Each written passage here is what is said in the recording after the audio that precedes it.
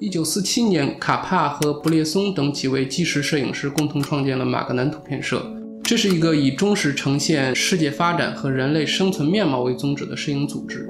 它一路发展壮大，吸引了全球范围内的大量的最优秀的摄影师。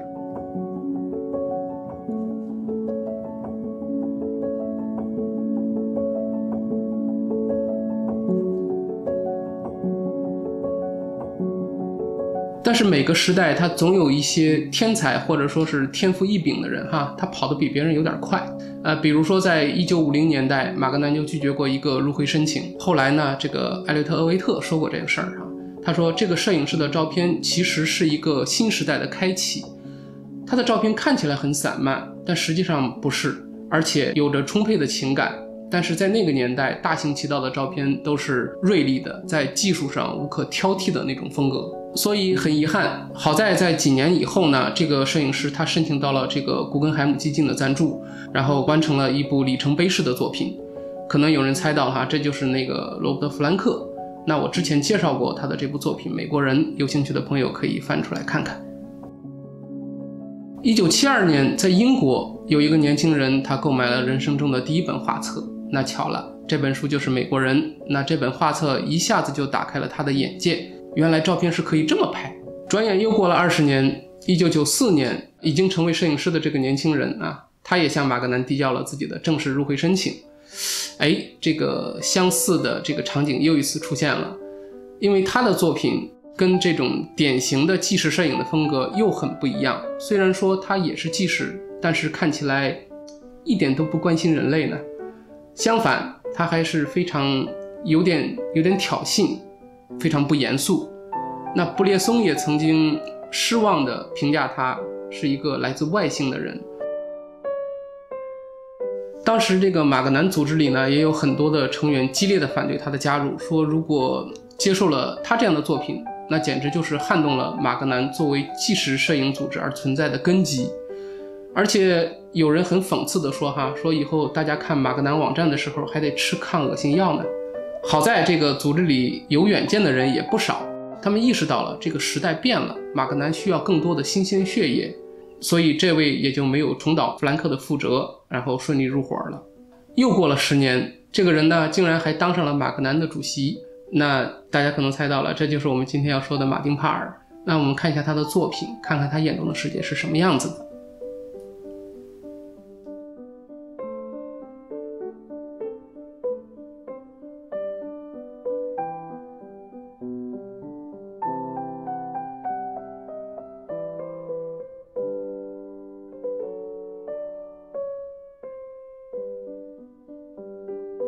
那我们接着说哈，当时很多摄影师反对他进入马格南，那理由无非就是他和马格南的这种传统是格格不入的，根本就没有那种悲天悯人的气质。那马丁帕尔的看法呢？他说，我们这个世界是同时存在严肃性和荒谬性的，就像阴阳一样，不是说只有这个特征或者那个特征，而是这两种特征是并存的。那意思就是，你看到了严肃的一面，你就拍严肃的内容。但是呢，我看到了另一面的那个荒诞，我就诚实的展现我看到的这个世界。所以我们在他的作品中就看到了完全是另一个气质的世界，一个杂乱无章的、闹哄哄的、又空虚无聊但却无比真实的人间。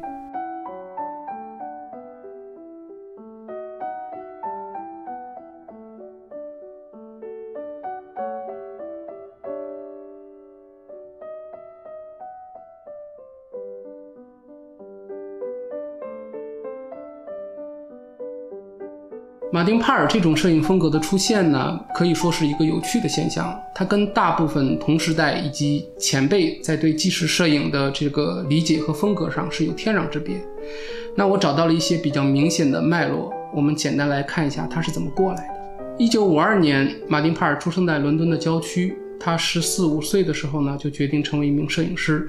那时候他和爷爷是生活在一起。他的爷爷喜欢拍照，然后订阅了一些摄影的杂志。那马丁帕尔也因此有机会看到美国六十年代的那些重要的摄影师，包括罗伯特·弗兰克、维诺格兰德，还有弗里兰德这些人。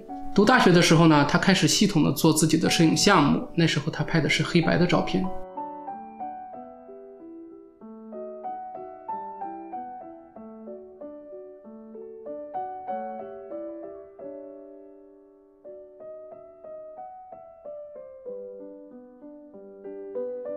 后来有人向他介绍了托尼·雷琼斯，那跟前面的几位摄影师不同的是，这个托尼·雷琼斯本人就是出生在英国，在六十年代左右呢，他是前往美国的耶鲁大学深造，又和这个维诺格兰德、梅洛维茨等当年这些街头摄影师很要好。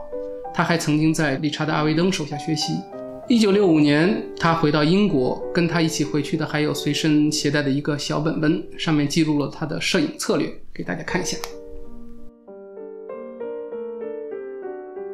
随后，这个雷琼斯他在英国开始拍摄，沙滩是他拍摄的场所之一。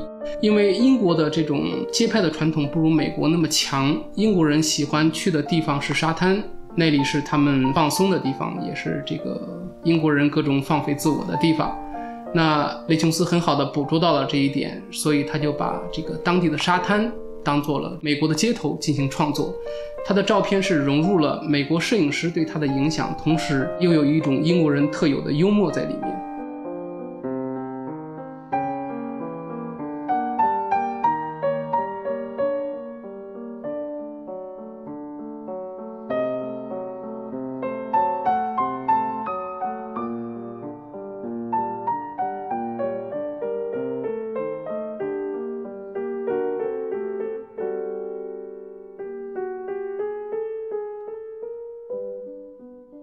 托尼·雷琼斯的这种把美国街头摄影转移到这个英国的沙滩的这种拍摄的方法呢，给马丁·帕尔留下了非常深刻的印象。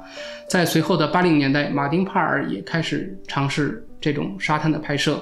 那跟雷琼斯不一样哈，他那时候已经开始尝试彩色的胶卷了，也就有了他最受争议的这个作品，就是这种最后的度假胜地。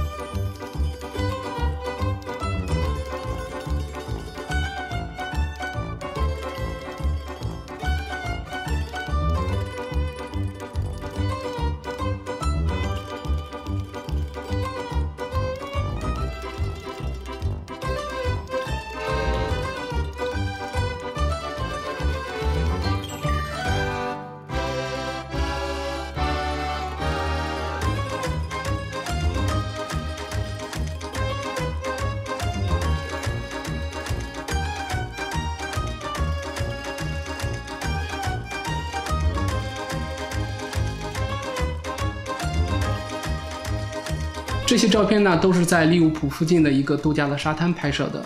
嗯，缺乏美感，绝对的毒舌。反正马丁·帕尔他最擅长的就是手持相机突然跳出来，一下子扯掉社会生活的那层华丽丽的衣裳，然后大灯一闪，拍下里面的狮子。你说他是讽刺也好，说他是恶趣味也好，自黑也好，嗯，在那个时代呢，嗯，引起争议，那当然是可以理解的。那好，这期我们大概了解了一下他的这个摄影的风格。那下一期呢，我们会着重的说一说作品以及作品背后的东西。